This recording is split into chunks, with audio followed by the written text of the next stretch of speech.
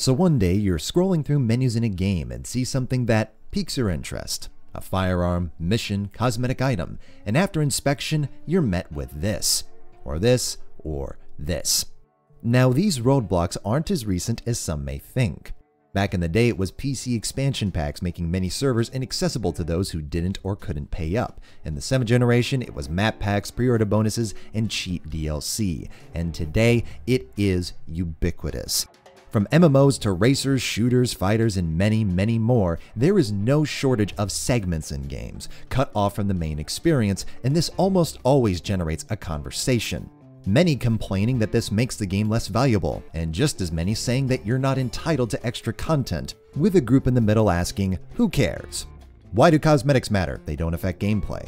It's just one mode, not vital to the experience. The DLC is cheap. Who doesn't have $3? And these comments aren't entirely incorrect. Cosmetics generally don't affect who wins a round of Siege. Most people didn't buy Modern Warfare for Horde mode, and $3 is the price of two candy bars. However, I do believe these comments often undervalue what cosmetics, modes, and extra content deliver for players. And there's no better recent example than Need for Speed Heat. This wasn't supposed to happen. Need for Speed hasn't earned a shred of gratitude in 10 years. Ghost Games' previous titles sparked unrivaled outrage, and EA has all the likability of this man's name.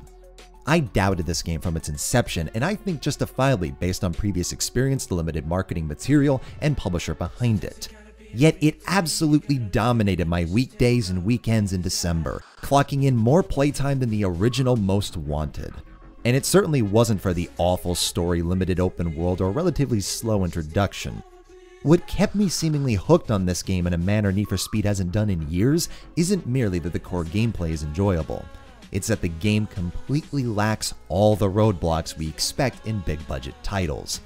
For instance, when you earn enough money to finally customize a vehicle, this is when you'd expect the system to be loaded with grindy challenges in an effort to keep you engaged with the world, lock parts behind random drops to make you play more, or straight up lock things behind a paywall. Because multiple game franchises, including Need for Speed, has done this.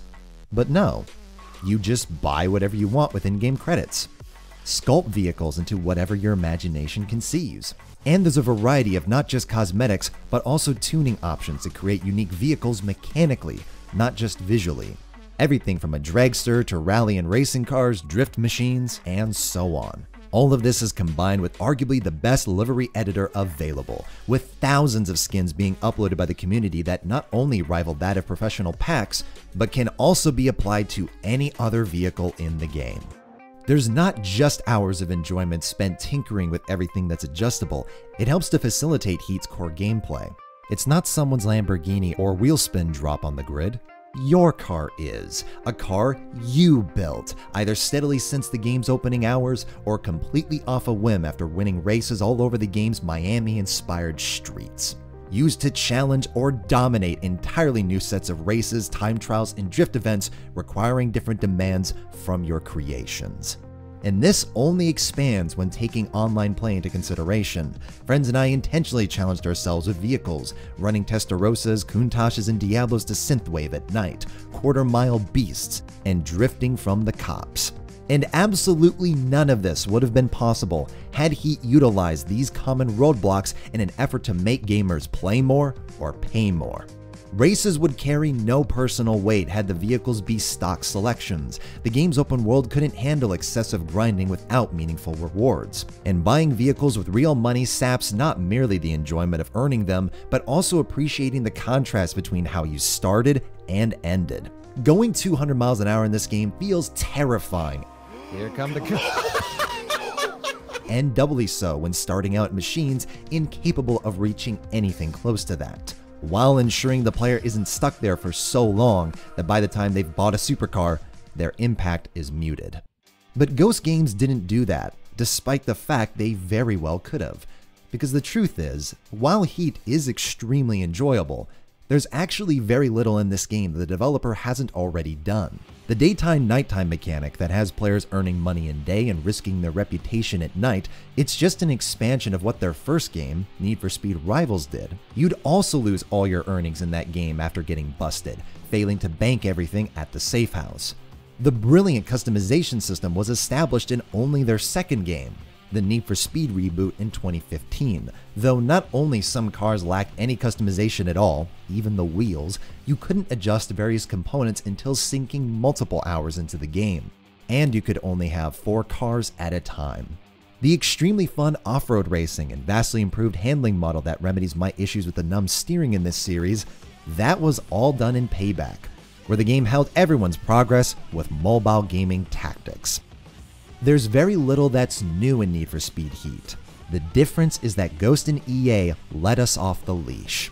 Rather than fragmenting the experience through a variety of gatekeeping techniques, you just play the game, enjoying everything that it has to offer with nothing beyond the asking price.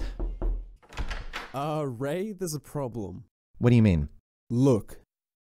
Oh, for God's sake. Now, to be clear, should every game follow in Need for Speed's wake? Yes. Can they? Realistically, no.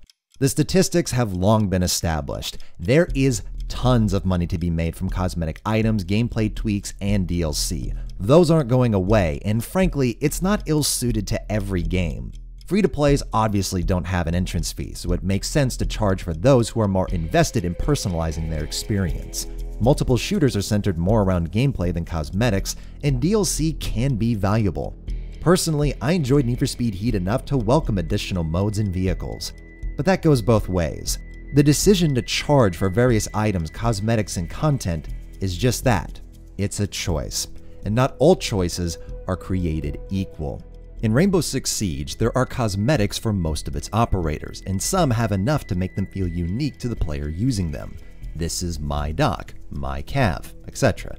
Tweaking characters to look exactly like you want is in keeping with prior entries and an enjoyable part of the game for some of its most active users. But they are the minority, as the in-game expense of these items requires many hours to earn or real cash to purchase. An enjoyable component of the game doesn't offer its full potential to the average player. This being the case is inarguable, but it's not indefensible. It's withholding a portion of the game not nearly as critical to its enjoyment for the user base to turn enough profits that ensures there continues to be a player base.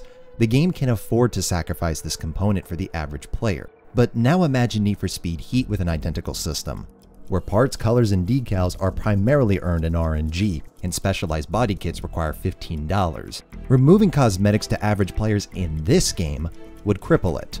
None of the positive experiences I listed earlier would have happened. It'd be the equivalent of Resident Evil charging you per campaign or Monster Hunter locking weapon types behind specific characters. One of the most compelling aspects of this game would have been lost, and it's hardly the only case. Everyone needs to make a buck, but what's being sacrificed isn't negligible. It does affect the overall experience, and sometimes to the point of destruction. It's pleasing to see more games making calculated decisions about what to give common players and reserve for enthusiasts but one can hope for a world of realistic compromise to have more of the ideal.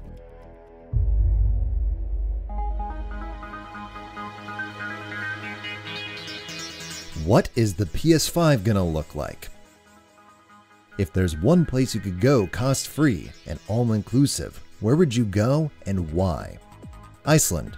No, not for the reason you think. Just ever since watching it on Top Gear years ago, I've always just been slightly entranced by its backdrops, a little pocket of the earth unlike anything else. I don't know if they've already done this, but if they haven't, there should absolutely be a Tomb Raider game taking place there. When is H years later? After I finish A, B, C, D, E, F, G. Favorite shooter pre 2010. Which game soundtrack fills you up with the most nostalgia?